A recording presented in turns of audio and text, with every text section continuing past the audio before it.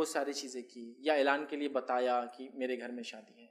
हाँ शादी की खुशी में आप जो कर सकते हैं, चूँकि शादी में ही बोल चुका हूँ, वलीमा था बोल के मैंने नहीं बताया ये, लेकिन शादी की खुशी में जो आप कर सकते हैं, वो सिर्फ़ औरतों को इजाज़त है कि घर के अंदर के कमरे में वो बैठकर दफ बजा सकती है, इसकी इजाज़त है। कि दफ जो है, वो तीन मुकाम पर है, दफ एक, जब किसी ने नज़र मांगी हो। हदीस के अल्फाज ऐसे, एक सहाबी आए, कहा, मैंने दौरे जालत में एक नज़र मांगी थी, मन्नत मांगी थी। कि मैं एक जगह दफ बजाऊँगा। दफ समझते हैं आप, एक ऐसा इंस्ट्रूमेंट जिसको एक तरफ़ से लेदर होता है, दूसरी तरफ़ से ओपन होता है, ढोल नहीं होता है और उसको एक हाथ से बजाया जाता है। तो मैंने नज़र मन्नत मांगी थी कि मैं दफ बजाऊँ। दफ बजाया